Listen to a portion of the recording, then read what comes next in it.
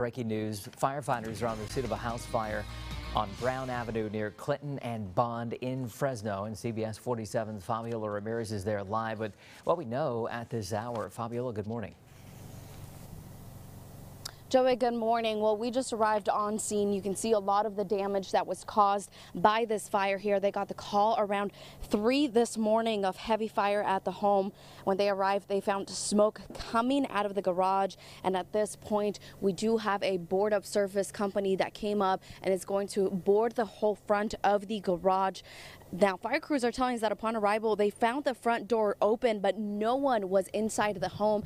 I just spoke to some residents. There was about seven residents that live in this home. They say that the whole house was fully engulfed and they jumped out of windows, jumped out through the back, and they weren't able to go out through the front. And that's why the fire crews could not find them initially at the beginning.